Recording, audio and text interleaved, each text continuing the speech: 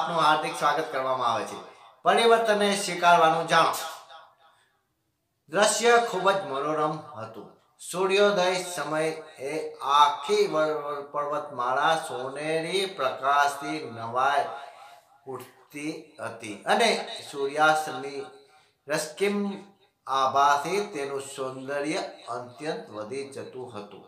વર્તમાન માળા પર પક્ષીનો કલવો એક નવા પ્રાકૃતિક સંગીતને જન્મ આપતો હતો. આ પહાડની નીચે એક નાનકડી નદી વહેતી હતી. નદીનું જળ ખૂબ નિર્મળ હતું. જળ એટલું બધું નિર્મળ હતું કે તેની નીચેના રંગીન પથ્થર વગેરે સ્પષ્ટ દેખાતું હતું. નદીની આસપાસ સમતળ જમીન ફેલાયેલી હતી.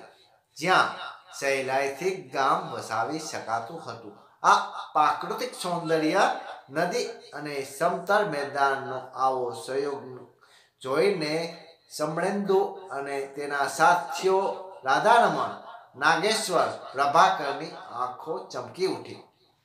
સમળેન્દુ આડે વયના હતો અને એ જ બધાનો પ્રમુખ હતો. પોતાના સારા ગુણો અને બધા માટે સારું વિચારવાના કારણે તેમને બધા માનતા હતા. અને તેના કહેવા અનુસાર ચાલતા હતા. તે બધા લોકોને એક સાથે રાખતા હતા.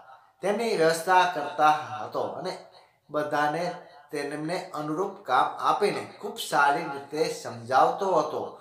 ભૂકંપને કારણે સમુડિંદુનું જૂનું ગામ નાશ પામી ચૂક્યું હતું અને એ લોકો ગામ વસાવા માટે એક નવા સ્થાનની શોધમાં હતા. જે શોધ હવે પૂરી થતી નજરે પડી રહી હતી. સમુદ્રેન્દ્રુએ કહ્યું કે, નાગેશ્વર, અહીં સમતળ મેદાન છે, પાસે નદી વહી રહી છે, જમીન, પાણી અને કુદરતી વાતાવરણ. આ બધું એક સારું ગામ વસાવવા માટે ઉપયુક્ત પરિસ્થિતિઓ છે. સાથે સાથે અહીંનું કુદરતી સૌંદર્ય પણ અદ્ભુત છે. નાગેશ્વરે કહ્યું, આપ બરાબર કહો છો. ગામ વસાવવા માટે આ યોગ્ય જગ્યા છે. ગામ લોકોની આવશ્યકતાઓ અહીં સહેલાઈથી પૂરી થઈ શકે છે. એટલા માટે આ સ્થાન સૌથી શ્રેષ્ઠ રહેવું જોઈએ. રાધા રમણ અને પ્રભાકરે પણ આ માટે પોતાની સંમતિ દર્શાવી દીધી અને નિશ્ચિત થઈ ગયું કે આ સમતળ મેદાનને એક નાનકડા ગામમાં પરિવર્તિત કરી દેવામાં આવે અને હળીમળીને સુખપૂર્વક રહેવામાં આવે. સમળેન્દુ અને તેના બધા સાથીઓએ પર્વતમાળાની નીચેની ખીરમાં એક ગામ વસાવી દીધું અને થોડા જ સમયમાં બધા લોકો પોતપોતાની ઝૂંપડીઓ બનાવીને ત્યાં રહેવા લાગ્યા. આ સમયે ઠંડીનો હતો.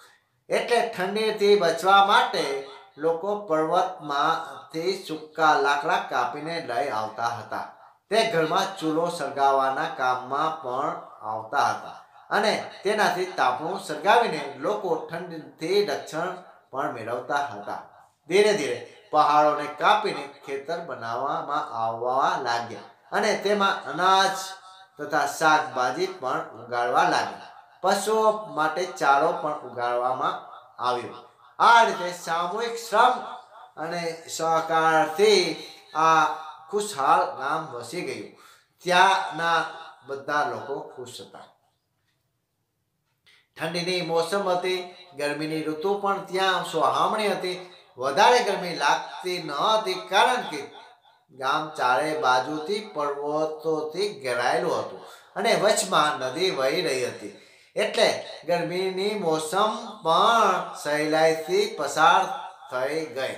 પરંતુ જ્યારે ચોમાસું આવ્યું તો ત્યાં તબાહીનું દ્રશ્ય ઊભું થઈ ગયું. ગ્રામજનોને આ પ્રકારની પરિદ્રશ્યની આશા ન હતી. નાગેશ્વરે કહી રહ્યા હતા, પ્રમુખ શ્રી, ભયંકર વરસાદથી આ જીવનદાયી પહાડી નદીમાં છલકાઈને કાળનું રૂપ ધારણ કરી રહી છે. એકાએક પૂર આવી ગયું છે અને આ પૂરમાં અમારા બધા ઘર તણાઈ રહ્યા છે. આખું ગામ ઉજ્જડ થઈ રહ્યું છે. અમારા નાના નાના બાળકો પણ માંડ માંડ ડૂબતા બચ્યા છે. પ્રચંડ હવાના કારણે પહાડ પરથી ઝાડ અને પથ્થર પડે છે.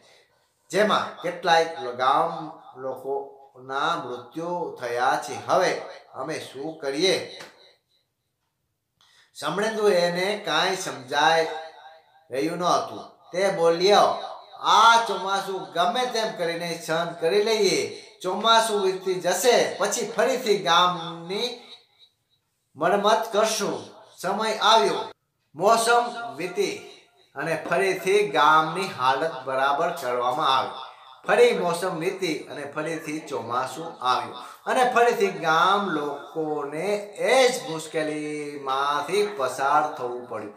આખા વર્ષની મહેનત આ પૂરમાં વહી જતી. આખા વર્ષનો ઉલ્લાસ આ ઋતુમાં માતમના રૂપમાં બદલાઈ જતો. કોઈને સમજાઈ રહ્યું ન હતું કે શું કરવું. કોઈને સમજાઈ રહ્યું ન હતું કે આ સંકટમાંથી કેવી રીતે નીકળવું. સમળેન્દુ સહિત ગામ લોકોએ માની લીધું કે જીવન આવું જ છે. આ જ અમારી નીતિ છે. આમ જ જીવન ચાલતું રહેશે. આ સંકટને ટાળી શકાતું નથી. એટલે તેમને સહન કરવું જ પડશે. થોડાક વર્ષો પછી એક સંતે પહાડી ગામમાં પહોંચ્યા. સમસ્ત ગામ લોકોએ પોતાના દુઃખ દર્દની વાત તેમણે કહી. તેમની વાતો સાંભળીને સંતને ગામજનોથી નાદાની સમજાઈ ગઈ કે, સમજાઈ ગઈ. અને તેમના પર દયા આવી. તેમણે ગામના પ્રમુખ સમળેન્દુને કહ્યું, આપ લોકોનું કષ્ટ એટલા માટે છે કારણ કે આપ નીચે ખીરમાં વસી રહ્યા છો. અહીં રહેલા આપ લોકોની સમસ્યાઓ ક્યારે ઉકેલી શકશે નહીં. જો આપ આપના મકાન થોડીક ઊંચાઈ પર બનાવશો, તો આ સમસ્યાઓથી બચી જશો. લોકોએ કહ્યું, મહાત્મ અમે વર્ષોથી અહીં રહ્યા છીએ. જો ઉપર ઊંચાઈ પર જશું તો શું ફેર પડશે? ક્યાંક બીજી મુસીબતો નહીં આવી જાય ને?